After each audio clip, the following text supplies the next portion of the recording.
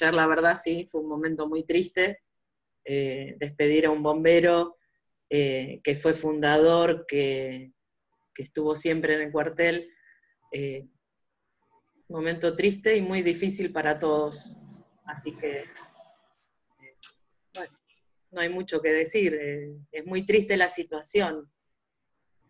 Desde muy temprano hicieron actividades para recordarlo, ¿no? Sí, a la mañana se, hizo la bandera, eh, se hizo el saludo oficial, se, llevó la bandera media, asta, eh, y después se hizo eh, el saludo en el cuartel de todos los bomberos. se pasó por, se lo llevó con la escolta, el cortejo con todas las autobombas, con todos los móviles, vino el, director de Defensa Civil del municipio, el señor Pared, vino el jefe de Garín que nos acompañó, eh, vecinos que salían a la calle y saludaban. Fuimos al destacamento, pasamos por la casa y después terminó eh, en, su, en su morada en el cementerio, lamentablemente. ¿Cuánto tiempo tuvo con este virus de COVID? ¿Cuánto hace que lo viene sufriendo?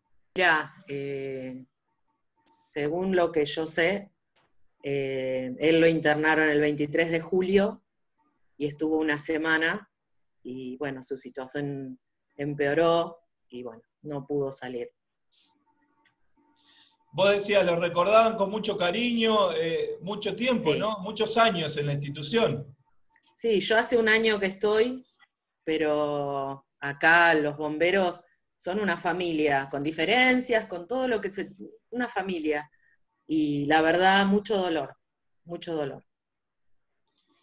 Bueno, y, cómo seguir adelante, ¿no? Con muchos de los compañeros, decías, con uno de los fundadores de la institución.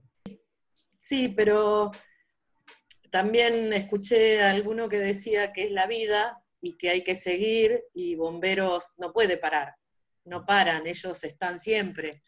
Eh, bueno, ahora tenemos una guardia reducida permanente, pero siempre están, siempre trabajan, siempre hay que cumplir. Es, parte de su vocación, es parte de, su trabajo, llamémoslo. Bueno, en toda empresa, en toda institución hoy en día le está tocando esto del COVID. Eh, lamentablemente les tocó a ustedes. Eh, ¿Cómo está la situación de eh, ahí en el cuerpo bombero? ¿Ya le había pasado algún caso entre los compañeros? Tenemos otro chico que tiene COVID, pero está bien, está en la casa.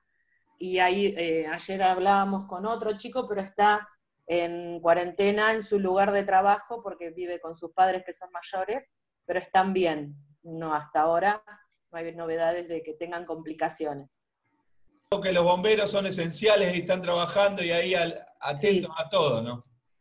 Sí, sí, sí. Y ellos están siempre, están siempre y en todo, eh, qué sé yo es así, es la vocación de ellos, servir.